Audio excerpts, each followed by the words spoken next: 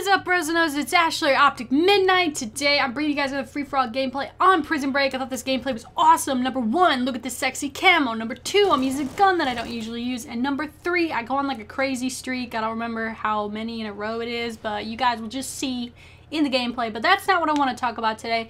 Today, uh, I want to talk about somewhat news. I'm not usually like a channel or YouTube Call of Duty channel that would be like, hey guys, this is the latest news in the community. Listen to me. But uh, I thought this was extremely relevant to things that I enjoy. Maybe some of you guys will enjoy it as well. So, number one, coming out, coming right out the gate. Tina is now Go Tina, Goat, Goat Tina. No, never mind. Uh, she uh, announced yesterday, last night, that Call of Duty Ghosts, uh, Clan versus Clan, you know that playlist that is like a super half-assed version of League play from Black Ops 2. Well, now it's going to be a whole lot more like League play uh, from Black Ops 2. Um, I'll link you guys down in the description to the actual thread where she posts uh, the changes.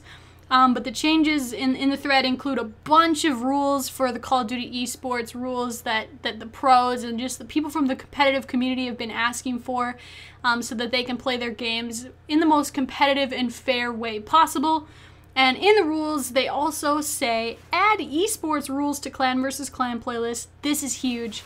And another big, huge thing Open clan versus clan playlist to allow solo player entry and mixed clan teams. So basically, league play. She also uh, listed right under that modified dead silence amplify functionality. This is something that's been huge, especially in free for all, which you know I'm a huge free for all player.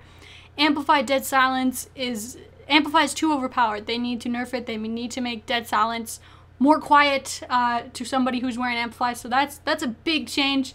Um, so I mean, and, and, they're just, I mean, they're they're opening up Xbox One LAN support. They're fixing broadcaster mode, hopefully, and they're also um, fixing and destroy. They're modifying the defuse time and the defuse sound effects, and uh, resolving the defuse timer animation discrepancy. So. For instance, this past weekend at UMG Philly, uh, we actually had a moment in overtime S&D. I believe it was the last map as well. Last map, last round this person's defusing the bomb and it said that it was defused but it actually wasn't so that was a huge deal so it's really awesome that they're fixing stuff like that so um, so why why is this important? Well, it's important for the esports community and watching, you know, tournaments, playing GameBattles, watching the 2K series that MLG does every weekend. This is huge if you're a pro player, huge if you're trying to get into competitive, and honestly, like huge if you're a spectator. I'm a massive spectator of Call of Duty esports, and all these changes are gonna make it way more enjoyable for me to watch. And so you guys will have to let me know what you think down in the description or I guess the comment section about that. And also, I mean, league play league play. Now they're not calling it league play, and I don't know if they're gonna have as intricate of a ranking system as league play did. Look at this camper. What are you doing? Um, was random. Uh, I know that they're not gonna have, or I don't know, but I don't see them having an intricate. You know how a league play had multiple divisions, and then you could rank up the ladder within those divisions. I'm not sure if it's gonna be like that, but even just having uh, the esports rules and the esports maps and the ability to pick up anybody instead of just playing people uh, with people from your clan, that is huge. I'm so excited to play that. It's going to give me a little bit of a new uh, newfound enjoyment in Call of Duty Ghosts because pretty much all I play right now is free for all. I can't really stand to play anything else, uh, but definitely a competitive playlist is something I would spend a lot of time in. You guys will have to let me know in the comment section below.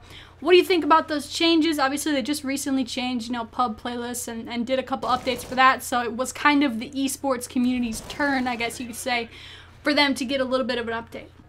Next, what I want to talk about is actually Call of Duty Championships. You guys know uh, the last two years Activision has put up a million dollars each time to hold the Call of Duty Championships. The first year, Optic ended up winning it. It was BigTymeR, Mercs, Nadeshot, and I believe Vengeance. I'm going to feel awful if I freaking am remembering that wrong, but I'm pretty sure it was Vengeance. Um, and then the second year Impact last year ended up winning, and the new one is coming up. I believe it's being played at the end of March. So how it's gonna work, uh, this is a little shaky. I'm not too sure about this. I'm not a pro player. I'm not on a pro team. But if I was on a pro team and, and hearing about these qualifiers, I would be nervous. The qualifiers, uh, you're, you're only gonna have eight teams from North America. So 8 out of 32 teams will be from North America. The rest of the teams will be from all around the world, uh, hence the name Call of Duty World Championships. Like, it is literally the World Championships.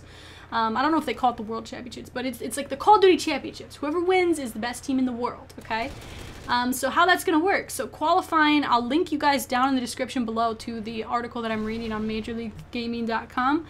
Uh, but there's going to be uh, a qualifier online, best of three matches.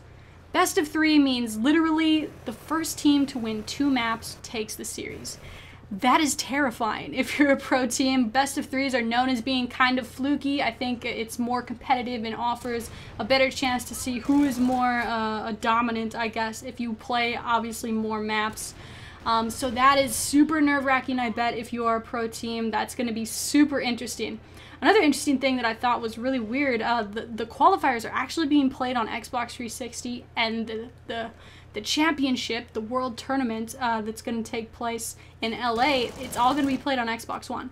That's huge. Those are completely different controllers. Uh, whether or not Scuf and, you know, just these big, huge controller brands that, that the pros use, um, if they'll be out by then, who knows? We don't know yet. Um, I'm hoping they will be. So that's huge. So the, the top 16 teams that qualify online will then go to a regional qualifier in Florida. That will happen on March 8th and 9th. So that's going to happen just a few weeks before the event.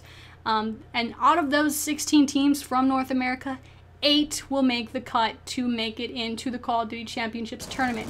If you don't make the cut, you don't get to participate. So that's also huge. Playing in those qualifiers is going to be super intense, and then after those qualifiers in Florida, they're going to have about two or three weeks to get used to the Xbox One and play in the Call of Duty Championships. It's going to be insane. I'd love to know what you guys think about this down in the comment section below, whether it's about League play and the esports rules or about COD Champs itself. Let me know down in the description, guys, or, or I guess the comment section. I don't know why I always call it that. Leave a like on the video if you enjoyed, and I'll talk to you guys later.